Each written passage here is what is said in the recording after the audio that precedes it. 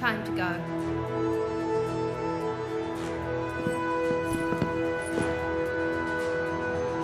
Good evening. This is City News Debate Hour. Excitement about the end of nationwide rationing has been tempered tonight following the news of more violent crime in our capital city. The sharp rise in public unrest has occurred despite the increased presence of the metahuman led crime fighting unit, now publicly known as the Pantheon. We're joined by political columnist and anti war activist Joel Forbes. Tell us, Joel, is there any truth in the assertion that the signing of the Human Hyper Treaty has a correlation to the rise in violent attacks in our city? It's not correlation, Terry, it's causation. The treaty clearly stipulates that hypers must not interfere with the governance of human society in any way whatsoever. Martin, tell us about the Pantheon's public mission statement. Leading members of the organization claim that it is a metahuman focused police force and they do not apprehend humans. Good evening, Terry. That is pr- the provisional government's agreement with the Pantheon. But how can you be so sure that these uh, metahuman uh, policemen are having a positive effect on public order? Oh, it's simply too early to give a definitive answer to that question, Joel.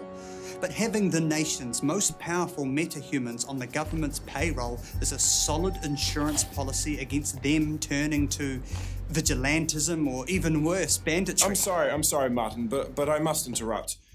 It is at this point that the violent crimes on our streets uh, becomes a political issue. Uh, doesn't the presence of an unelected metahuman faction in our government make us a police state? I'm afraid, gentlemen, we're going to have to cut this debate short in order to make room for our next guest. Joining us now in the studio is Melanie Hopkirk, former liaison with the CIA's Metahuman Counterterrorism Department. Tell us, Melanie, do you believe that there is any truth to Joel Forbes' belief that there are metahumans uh, living in post war society that are not accounted for by the tally system? I believe there may be some truth to the theory, yes. Hypers are notoriously skilled at hiding themselves. Many of them live their entire lives without ever revealing their powers. Run!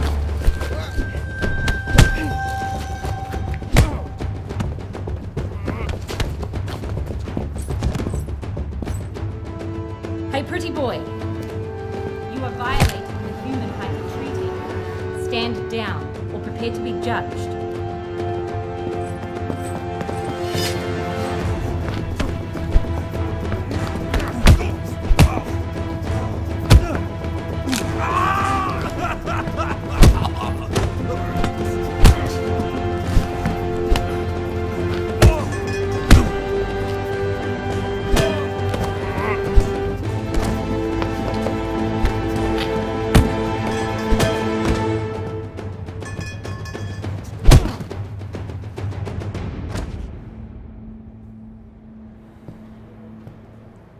Ghost, I need pickup for two, and alert the police for the muggers. Ghost, I need pickup for three people. And trauma counselling for one. Do you believe then that metahuman fugitives from the Great War are hiding among our population? Members of the intelligence community are skeptical about this theory. Many of the hyper turncloaks of the Great War went missing, it is true. But there is strong evidence suggesting that these missing hypers are dead rather than in hiding, even if they are hiding among us. It is not likely that they will ever openly challenge us again.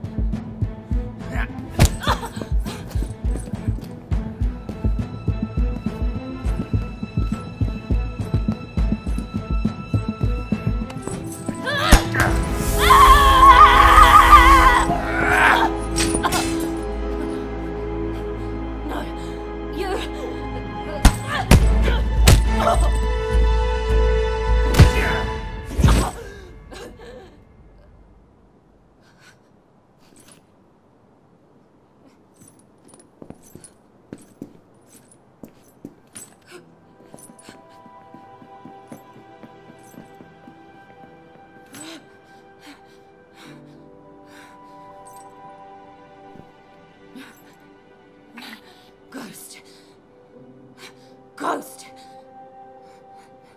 I need pickup.